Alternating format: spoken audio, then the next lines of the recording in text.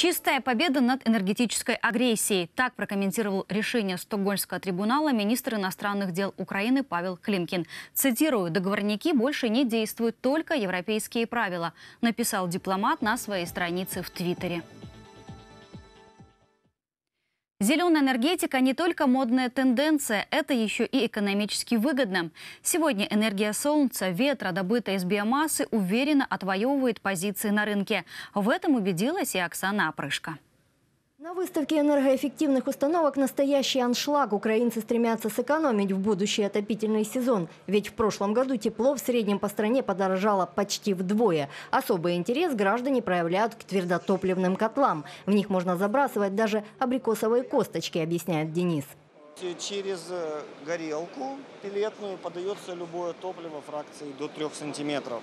Это может быть там мелкофракционный уголь, Э, пилеты любые, древесные, там прессованный жмых, э, из семечек, например, да, Отдельно может быть там абрикосовые косточки, ореховая скорлупа.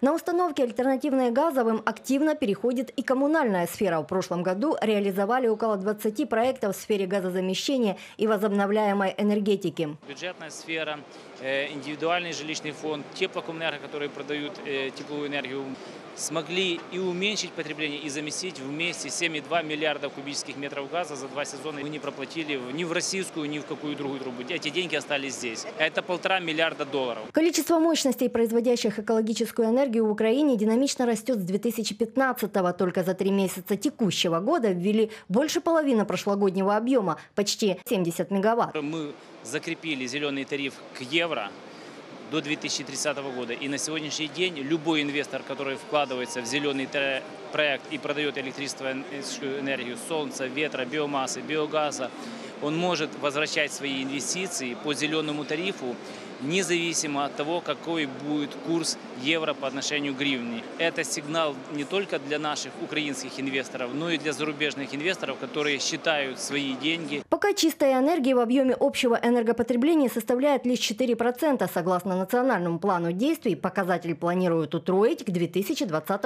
году. Для реализации задуманного потребуется 16 миллиардов евро, подсчитали в правительстве. Оксана Пришка, Антон Куница, UATV.